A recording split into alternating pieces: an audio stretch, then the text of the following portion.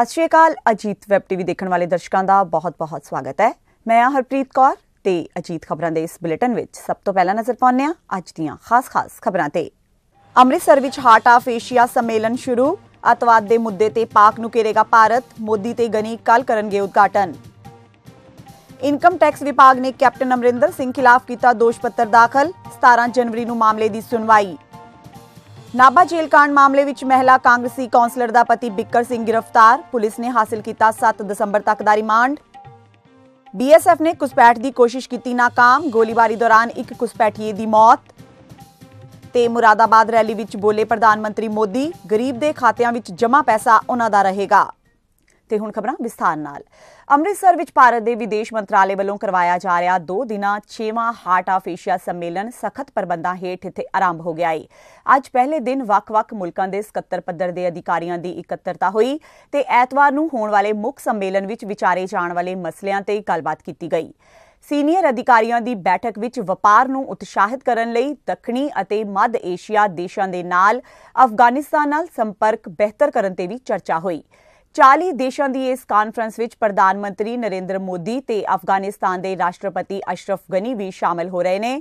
ਸ਼੍ਰੀ ਮੋਦੀ ਕੱਲ ਐਤਵਾਰ ਨੂੰ ਸੰਮੇਲਨ ਦਾ ਉਦਘਾਟਨ ਕਰਨਗੇ ਤੇ ਪ੍ਰਧਾਨ ਮੰਤਰੀ ਸੰਮੇਲਨ ਵਿੱਚ ਹਿੱਸਾ ਲੈਣ ਲਈ ਅੰਮ੍ਰਿਤਸਰ ਪਹੁੰਚ ਗਏ ਨੇ।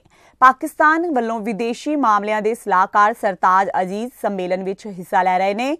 ਉੜੀ ਹਮਲੇ ਨਗਰੋਟਾ ਅਤਵਾਦੀ ਹਮਲੇ ਤੇ ਭਾਰਤ ਵੱਲੋਂ ਸਰਜੀਕਲ ਸਟ੍ਰਾਈਕ ਤੋਂ ਬਾਅਦ ਪਹਿਲੀ ਵਾਰ ਭਾਰਤ ਪਾਕਿਸਤਾਨ ਇੱਕ ਮੰਚ ਤੇ ਦਿਖਾਈ ਦੇਣਗੇ। ਉਧਰ ਸੁਰੱਖਿਆ ਦੇ ਮੱਦੇਨਜ਼ਰ 5000 ਪੁਲਿਸ ਮੁਲਾਜ਼ਮ ਤਾਇਨਾਤ ਕੀਤੇ ਗਏ ਨੇ।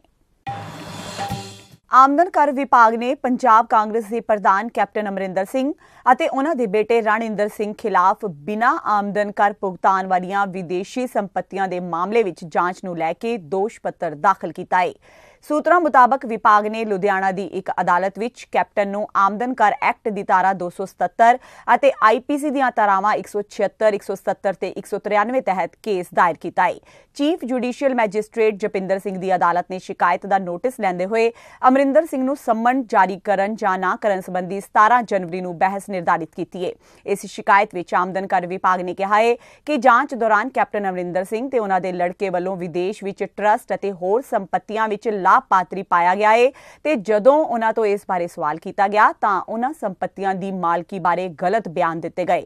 ਇਸ ਕਾਰਵਾਈ ਤੋਂ ਬਾਅਦ ਕੈਪਟਨ ਅਮਰਿੰਦਰ ਸਿੰਘ ਨੇ ਟਵਿੱਟਰ ਰਾਹੀਂ ਵਿੱਤ ਮੰਤਰੀ ਅਰੁਣ ਜੇਤਲੀ ਤੇ ਉਹਨਾਂ ਨੂੰ ਫਸਾਉਣ ਦਾ ਇਲਜ਼ਾਮ ਲਗਾਇਆ ਹੈ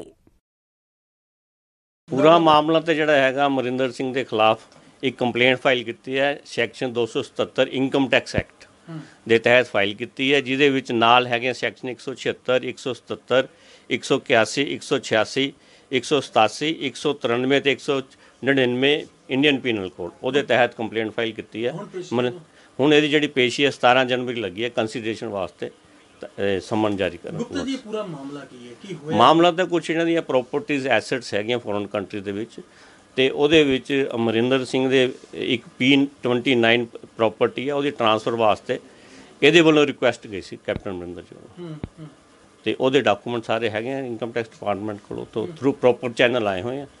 ਤੇ ਉਹਦੇ ਬੇਸ ਤੇ ਕੀਤੀ ਹੈ। ਇਹਨੂੰ ਨੋਟਿਸ ਭੇਜੇ ਸੀ ਇਨਕਮ ਟੈਕਸ ਡਿਪਾਰਟਮੈਂਟ ਨੇ। ਪਰ ਉਹ ਜਿਹੜਾ ਰਿਪਲਾਈ ਸਹੀ ਤਰੀਕੇ ਨਾਲ ਨਹੀਂ ਦਿੱਤਾ ਕੰਸੀਲਮੈਂਟ ਕੀਤੇ ਆ ਫੈਕਟਸ ਇਹਨਾਂ ਨੇ। ਨਾਭਾ ਜੇਲ੍ਹ ਕਾਂਡ ਮਾਮਲੇ ਵਿੱਚ ਅਹਿਮ ਖੁਲਾਸਾ ਹੋਇਆ ਹੈ ਜੇਲ੍ਹ ਕਾਂਡ ਮਾਮਲੇ ਵਿੱਚ ਫਿਰੋਜ਼ਪੁਰ ਦੇ ਮੁਦਕੀ ਤੋਂ ਕਾਂਗਸੀ ਮਹਿਲਾ, ਕਾਂਗਸੀ ਕੌਂਸਲਰ ਦਾ ਪਤੀ ਬਿੱਕਰ ਸਿੰਘ ਵੀ ਸ਼ਾਮਿਲ ਸੀ। ਬਿੱਕਰ ਸਿੰਘ ਗੈਂਗਸਟਰ ਗੁਰਪ੍ਰੀਤ ਸਿੰਘ ਸੇਖੋਂ ਦੇ ਇੱਟਾਂ ਦੇ ਪੱਠੇ ਤੇ ਕੰਮ ਕਰਦਾ ਸੀ। ਪੁਲਿਸ ਨੇ ਬਿੱਕਰ ਸਿੰਘ ਨੂੰ ਗ੍ਰਿਫਤਾਰ ਕਰਕੇ ਨਾਭਾ ਦੀ ਅਦਾਲਤ ਵਿੱਚ ਪੇਸ਼ ਕੀਤਾ ਤੇ 7 ਦਸੰਬਰ ਤੱਕ ਦਾ ਰਿਮਾਂਡ ਹਾਸਲ ਕਰ ਲਿਆ।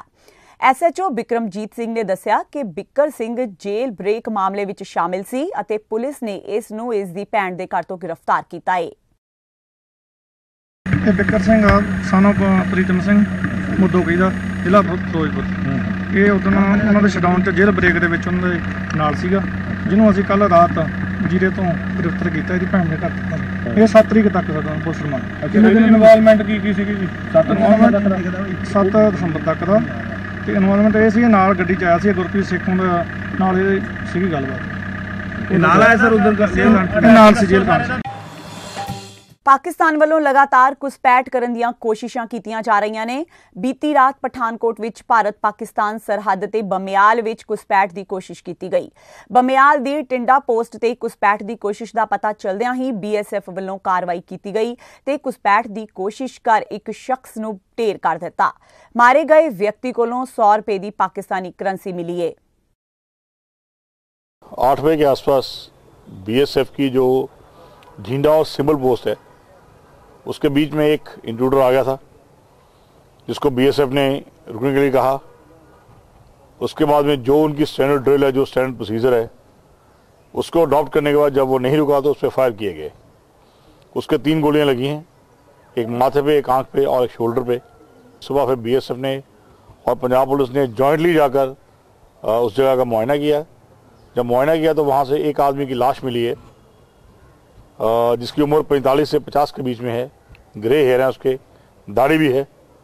उसके पास से डेढ़ सौ रुपया करेंसी मिली है पाकिस्तानी करेंसी और एक सिगरेट का पैकेट एक माचिस कुछ फ्रूटी का एक पैकेट मिला है, खाली एक भरा हुआ मिला है। और एक उसके पास से मिला है हमें रसना पाउडर का खाली पैकेट हमें मिला है ਉੱਤਰ ਪ੍ਰਦੇਸ਼ ਦੇ ਜ਼ਿਲ੍ਹਾ ਮੁਰਾਦਾਬਾਦ ਵਿੱਚ ਪ੍ਰਧਾਨ ਮੰਤਰੀ ਨਰਿੰਦਰ ਮੋਦੀ ਨੇ ਪਰਿਵਰਤਨ ਰੈਲੀ ਨੂੰ ਸੰਬੋਧਨ ਕਰਦੇ ਹੋਏ ਕਿਹਾ ਕਿ ਦੇਸ਼ ਵਿੱਚੋਂ ਗਰੀਬੀ ਨੂੰ ਖਤਮ ਕਰਨਾ ਹੈ ਤਾਂ ਪਹਿਲਾਂ ਵੱਡੇ ਰਾਜਾਂ 'ਚੋਂ ਗਰੀਬੀ ਨੂੰ ਖਤਮ ਕਰਨਾ ਪਵੇਗਾ। ਪ੍ਰਧਾਨ ਮੰਤਰੀ ਨੇ ਕਿਹਾ ਕਿ ਵਿਕਾਸ ਸਾਡੀ ਪ੍ਰਾਥਮਿਕਤਾ ਹੈ ਜੇਕਰ ਵਿਕਾਸ ਹੋਵੇਗਾ ਤਾਂ ਰੋਜ਼ਗਾਰ ਆਵੇਗਾ। ਘਰਾਂ ਵਿੱਚ ਬਿਜਲੀ ਆਵੇਗੀ, ਚੰਗੀ ਸਿੱਖਿਆ ਮਿਲੇਗੀ ਤੇ ਵਧੀਆ ਸਿਹਤ ਸਹੂਲਤਾਂ ਮਿਲਣਗੀਆਂ। ਇਸ ਸਮੇਂ ਉਹਨਾਂ ਨੋਟਬੰਦੀ ਤੋਂ ਬਾਅਦ ਜਨਧਨ ਖਾਤਿਆਂ ਵਿੱਚ ਜਮ੍ਹਾਂ ਹੋਏ ਪੈਸਿਆਂ ਸੰਬੰਧੀ ਬੋਲਦੇ ਹੋਏ ਕਿਹਾ ਕਿ ਗਰੀਬ ਦੇ ਖਾਤੇ ਵਿੱਚ ਗੈਰ ਕਾਨੂੰਨੀ ਰੂਪ ਵਿੱਚ ਪਾਇਆ ਗਿਆ ਪੈਸਾ ਗਰੀਬ ਦਾ ਹੋਵੇਗਾ ਤੇ ਦੋਸ਼ੀ ਨੂੰ ਸਜ਼ਾ ਮਿਲੇਗੀ ਇਸ ਸਮੇਂ ਪ੍ਰਧਾਨ ਮੰਤਰੀ ਨੇ ਕਿਸਾਨਾਂ ਨੂੰ ਸੰਬੋਧਨ ਕਰਦਿਆਂ ਉਹਨਾਂ ਦੀ ਪ੍ਰਸ਼ੰਸਾ ਵੀ ਕੀਤੀ मैंने उत्तर प्रदेश में सांसद के रूप में चुनाव लड़ा बनारस के लोगों ने मुझे भरपूर आशीर्वाद दिया लेकिन उत्तर प्रदेश में चुनाव सिर्फ़ सांसद बनने के लिए मैं नहीं लड़ा हूँ। मैं उत्तर प्रदेश में चुनाव इसलिए लड़ा हूँ कि हिंदुस्तान का ये सबसे बड़ा राज्य है। यहाँ गरीबी बहुत है। ये गरीबों के बीच जाकर के गरीबी से लड़ाई लड़ना, गरीबी से मुक्ति दिलाना, इसलिए मैं उत्तर प्रदेश की सेवा करना मैंने स्वीकार किया है। विकास अगर होगा तो रोज़गार भी आएगा। विकास होगा तो बच्चों को अच्छी शिक्षा भी मिलेगी। विकास होगा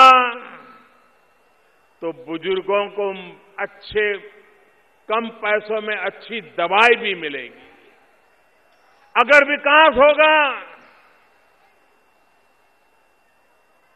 तो रहने को घर मिलेगा, घर में बिजली मिलेगी, घर में पानी आएगा, माँ बहनों की ज़िंदगी में बदलाव आएगा। ਲੁਧਿਆਣਾ ਵਿੱਚ ਬੀਤੇ ਦਿਨ ਹੋਈ ਧਾਰਮਿਕ ਗ੍ਰੰਥਾਂ ਦੀ ਬੇਅਦਬੀ ਦੇ ਮਾਮਲੇ ਵਿੱਚ 6 ਬੱਚਿਆਂ ਨੂੰ ਗ੍ਰਿਫਤਾਰ ਕੀਤਾ ਗਿਆ ਹੈ ਜਦਕਿ ਇੱਕ ਬੱਚਾ ਫਰਾਰ ਦੱਸਿਆ ਜਾ ਰਿਹਾ ਹੈ ਪੁਲਿਸ ਨੇ ਸੀਸੀਟੀਵੀ ਤਸਵੀਰਾਂ ਦੇ ਆਧਾਰ ਤੇ ਬੱਚਿਆਂ ਦੀ ਪਹਿਚਾਣ ਕਰਕੇ ਗ੍ਰਿਫਤਾਰ ਕੀਤਾ। ਗ੍ਰਿਫਤਾਰ ਕੀਤੇ ਗਏ ਸਾਰੇ ਬੱਚਿਆਂ ਦੀ ਉਮਰ 9 ਤੋਂ 15 ਸਾਲ ਦੱਸੀ ਜਾ ਰਹੀ ਹੈ।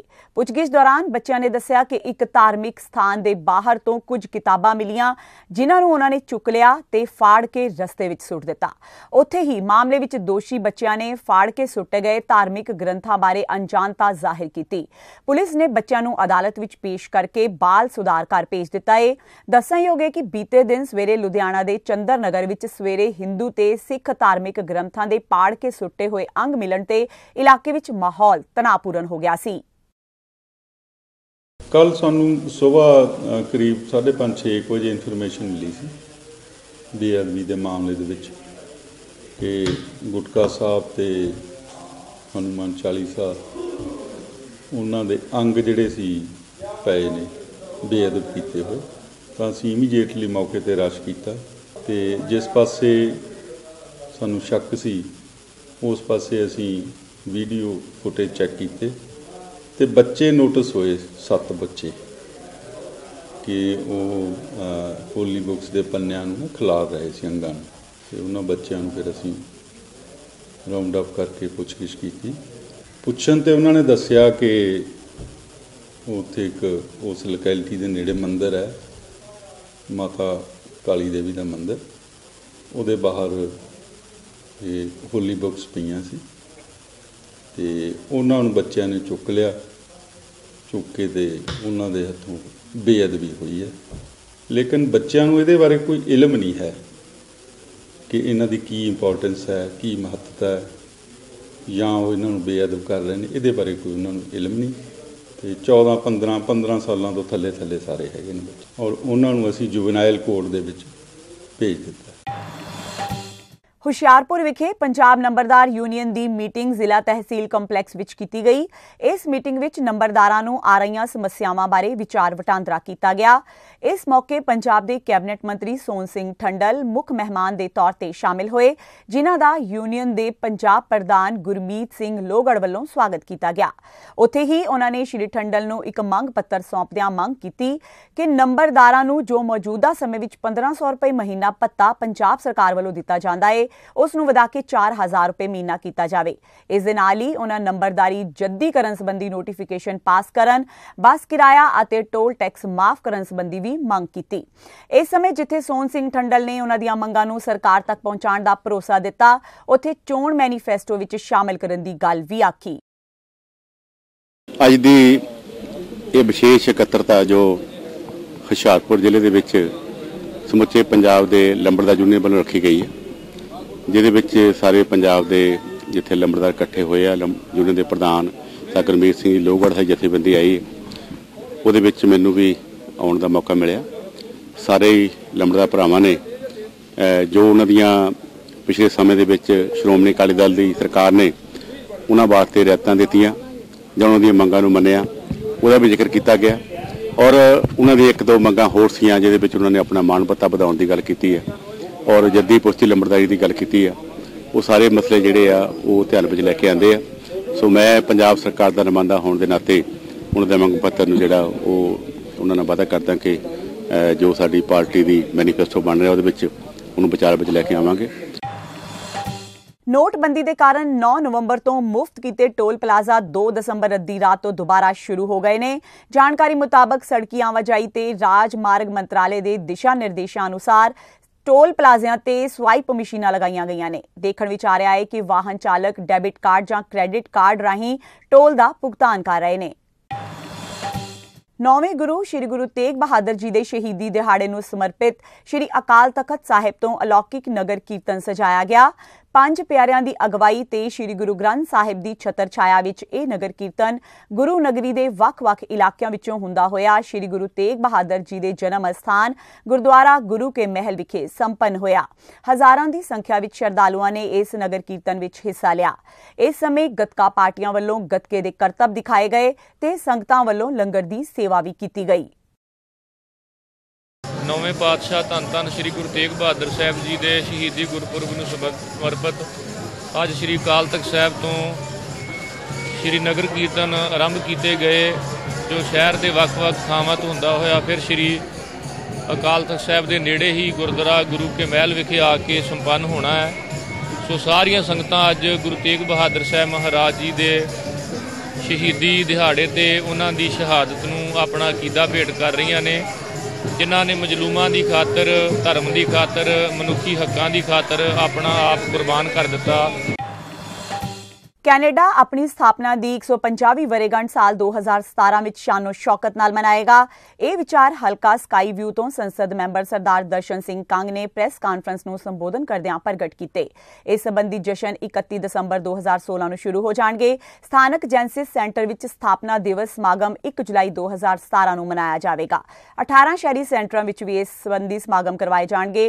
ਸਰਦਾਰ ਕੰਗ ਨੇ ਸਾਰੇ ਭਾਈਚਾਰਿਆਂ ਨੂੰ ਇਨ੍ਹਾਂ ਇਤਿਹਾਸਿਕ ਜਸ਼ਨਾਂ ਵਿੱਚ ਵੱਧ ਚੜ ਕੇ ਹਿੱਸਾ ਲੈਣ ਦਾ ਸੱਦਾ ਦਿੱਤਾ ਹੈ ਅਦਾਕਾਰ ਜਾਨ ਅਬਰਾਹਿਮ ਨਿਸ਼ਾਨ ਦੀ GTR ਕਾਰ ਨੂੰ ਲਾਂਚ ਕਰਦੇ ਸਮੇਂ ਕਾਫੀ ਖੁਸ਼ ਨਜ਼ਰ ਆਏ। ਖੁਸ਼ ਹੋਣ ਵੀ ਕਿਉਂ ਨਾ? ਇਹ ਕਾਰ ਹੈ ਹੀ ਇੰਨੀ ਖੂਬਸੂਰਤ। ਇਸ ਦੇ ਨਾਲ ਹੀ ਦਰਸ਼ਕਾਂ ਨੂੰ ਜਾਨ ਅਬਰਾਹਿਮ ਦੇ ਬਾਈਕ ਨਾਲ ਪਿਆਰ ਤੋਂ ਇਲਾਵਾ ਕਾਰਾਂ ਪ੍ਰਤੀ ਉਹਨਾਂ ਦੀ ਖਿੱਚ ਵੀ ਦੇਖਣ ਨੂੰ ਮਿਲੀ। ਇਸ ਸਮੇਂ ਉਹਨਾਂ ਨੇ ਕਾਰ ਬਾਰੇ ਜਾਣਕਾਰੀ ਹਾਸਲ ਕਰਨ ਦੇ ਨਾਲ-ਨਾਲ ਕਾਰ ਵਿੱਚ ਬੈਠ ਕੇ ਫੋਟੋ ਵੀ ਖਿਚਵਾਈ। ਅਦਾਕਾਰ ਬੋਮਨ ਇਰਾਨੀ ਨੇ ਆਪਣਾ ਜਨਮ ਦਿਨ ਦਾਦਰ ਸਥਿਤ ਘਰ ਵਿੱਚ ਆਪਣੇ ਨਜ਼ਦੀਕੀ ਦੋਸਤਾਂ ਦੇ ਨਾਲ ਮਨਾਇਆ। ਉਹਨਾਂ ਦੇ ਜਨਮ ਦਿਨ ਦੀ ਪਾਰਟੀ ਵਿੱਚ ਫਰਾ ਖਾਨ, ਸਾਜਿਦ ਖਾਨ, ਰਾਜੂ ਹਿਰਾਨੀ, ਅਭਿਸ਼ੇਕ ਬੱਚਨ ਤੇ ਕੁਝ ਹੋਰ ਮਹਿਮਾਨ ਸ਼ਾਮਿਲ ਹੋਏ। ਅਭਿਸ਼ੇਕ ਨੇ ਸੋਸ਼ਲ ਮੀਡੀਆ ਤੇ ਪਾਰਟੀ ਦੀਆਂ ਕੁਝ ਤਸਵੀਰਾਂ ਵੀ ਪ੍ਰਸ਼ੰਸਕਾਂ ਨਾਲ ਸਾਂਝੀਆਂ ਕੀਤੀਆਂ। ਇਸ ਦੇ ਨਾਲ ਹੀ ਅਜੀਤ ਖਬਰਾਂ ਦਾ ਇਹ ਬੁਲੇਟਿਨ ਖਤਮ ਹੁੰਦਾ ਹੈ। ਕੁਝ ਹੋਰ ਨਵੀਆਂ ਖਬਰਾਂ ਨਾਲ ਫਿਰ ਤੋਂ ਹਾਜ਼ਰ ਹੋਵਾਂਗੇ। ਤਦ ਤੱਕ ਲਈ ਇਜਾਜ਼ਤ ਦਿਓ। ਸਤਿ ਸ਼੍ਰੀ ਅਕਾਲ।